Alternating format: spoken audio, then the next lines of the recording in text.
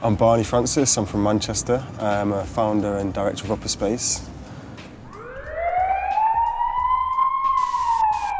Upper Space is a, is a non-profit organisation that works with uh, artists, activists and community organisers. Um, we do projects centred around social and environmental justice. Um, we do outreach, exhibitions and public realm interventions within public space.